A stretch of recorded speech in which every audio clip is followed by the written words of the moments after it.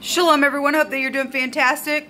Thanks for joining for just a second for a chit chat. So, I just did a reading for fire and water, and something came out within your little game that you're playing with the white team and the black team, and somebody cheated. Let me have some more ramen noodles here for all you superficial people in those highfalutin places playing a game with people's lives as they are pawns and somebody's trying to rope somebody in to do something.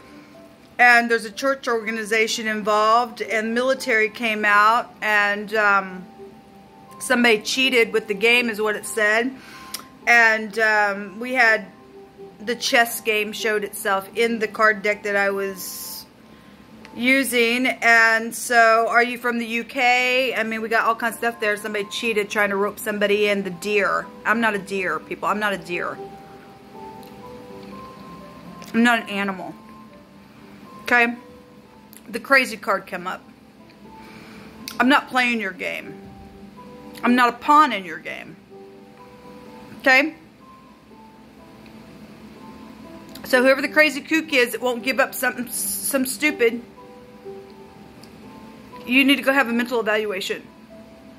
You need to go sit in a prison cell. Whatever you think you're trying to do. Let Jehovah Elohim judge between me and you.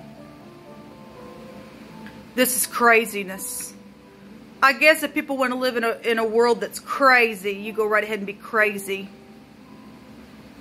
One person touches me, let the wrath of Elohim fall upon you and your family so hard that you would have wished you would have never laid eyes on me. Oh yeah, my cousin was involved as well in the little game that's being played. I'm disgusted. And I sit here and I pray for our leadership. What is our leadership doing? Huh? Are you helping me? Or are you playing a game with me?